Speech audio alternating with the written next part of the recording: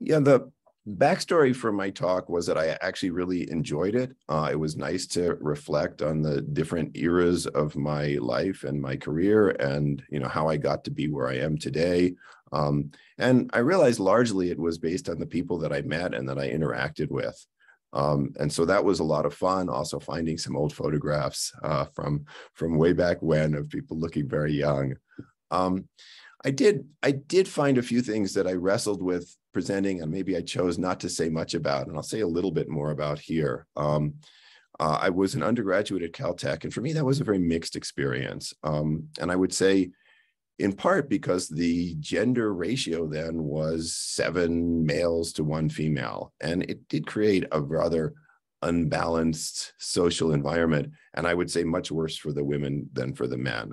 Um, so I have to say, I just Googled the gender balance at Caltech and it's very close to 50 50. And I think that's wonderful. I think they've, you know, they've done a, a fantastic job. And I would have no problem recommending to a young person to go to Caltech because the other aspect of my experience there was that the teaching and instruction were fantastic. Um, I really enjoyed my classes. The, the faculty put a great deal into them.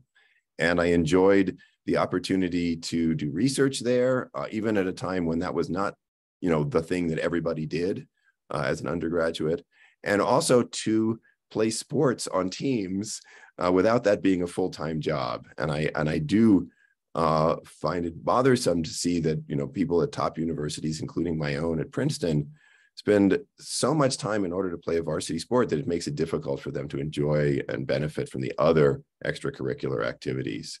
So uh, it was really great at caltech to be able to do that really as a sort of traditional just as a, as a as a way of blowing off steam and getting a little bit of relief from the from the stresses of uh, you know a, rigorous academic uh, environment.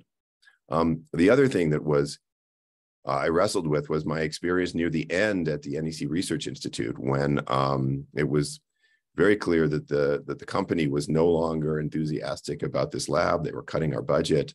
Um, and uh, people were actually being pink slipped. And I'm not, you know, people who were strong scientists uh, were being cut for no very clear reason to us who was being cut. Um, and there was just this sense of dread.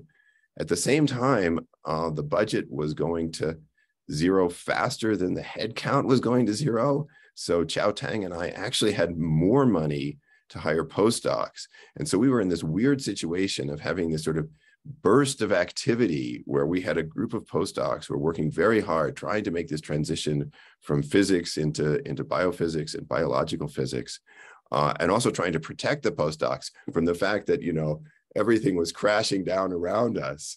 Uh, make sure that they got their papers out and got jobs and that we got jobs too.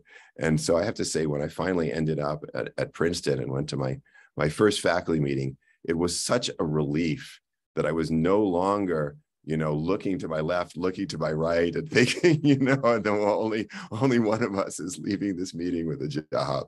So, um, but uh, on the whole, again, I there were I was at I was NEC for over ten years. It was a wonderful experience overall.